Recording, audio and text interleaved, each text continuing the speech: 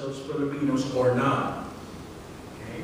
There was a peace talk uh, October 7, and there were tears in the eyes of the uh, Muslim rebel leader, uh, which was not caught by tape, but which was written by people who were there.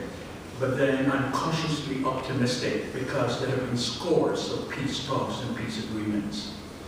Uh, NIU, Northern Illinois University, had hosted many people of different ethnicities and religions, but noting that Muslims are not monolithic. Therefore, uh, there, there's the Tausug, the Badjao, the Maranao, the Maguindanao, the Irano, the Yakan, etc., etc. And uh, therefore, uh, if there are multiple ethnicities of Muslims, there are multiple notions of conflict, conflict resolution, and peace building as well. So there's no monolithic definition of what is conflict, etc.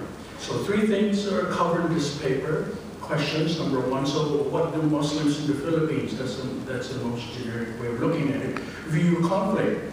Number one, number two, conflict resolution, and number three, peace building. Uh, these will be the objectives of the paper, and the photos you see are actual photos of the program. They, they signed waivers too, all of them. So number one, the framework would be uh, who has the power, who, whoever has the power decides what knowledge will be imposed on the people.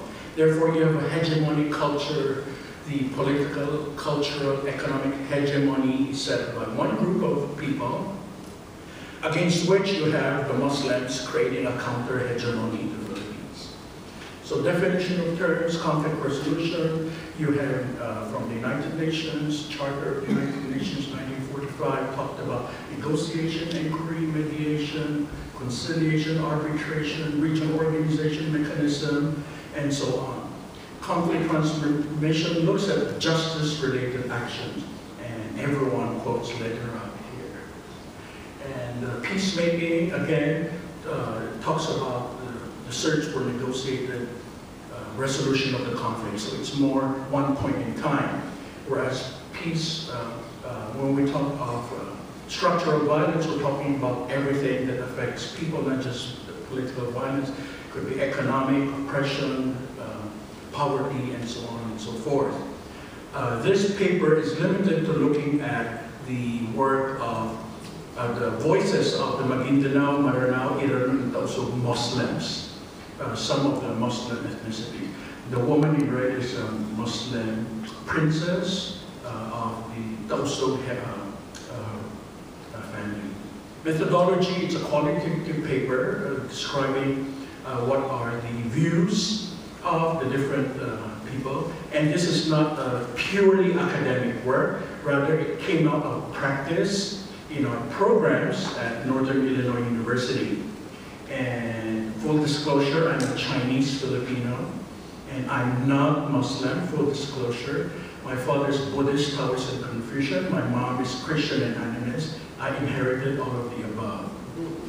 And research data collection method, it's uh, we work with our Muslim participants uh, when they come to NIU, Northern Illinois University, uh, doing participatory action research because one of the products of their work when they come to NIU is to produce a project which will be implemented uh, when they return home within three months. So concrete action is uh, produced when our participants go back. Self-reports, uh, interview with social media, there's back and forth of uh, asking questions.